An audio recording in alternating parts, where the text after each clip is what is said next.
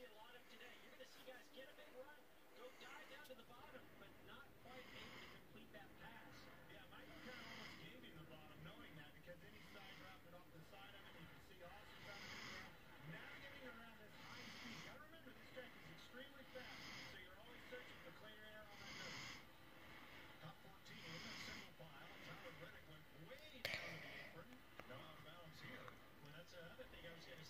front straightaway, you can get five or six wide. Three wide. Kyle Larson up 11 spots since the start of this one. And this is where it comes in right where I was saying, trying to find where you get that clean air on that nose. That helps the car turn. The other thing about this, we're in Kansas, Jeff. You never know what the wind's going to do and the, the effect that that wind makes on these race cars. Blows you all around and you catch that air uh, on the nose and what's make the thing loose. Crosswind and then blowing down that back straight the way it is, it's really easy and entices you to overdrive the corner to in a crease.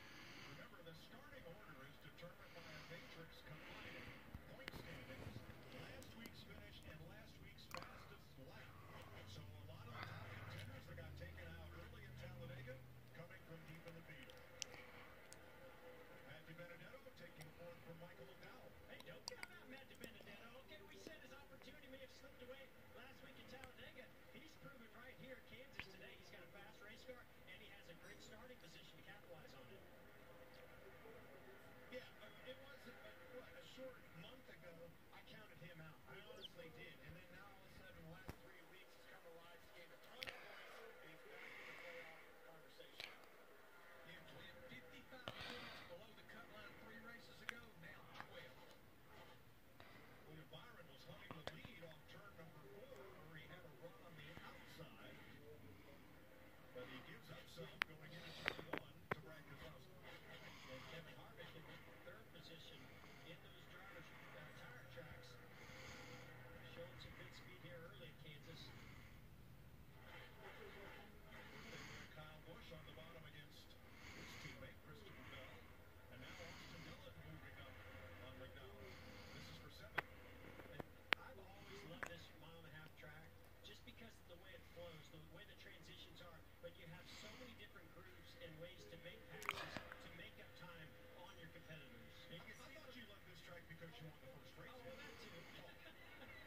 The only reason I ever loved this track is because it was home. Boy, I struggled in this I, race. I may have seen you in one or two of those classes ahead of a big race.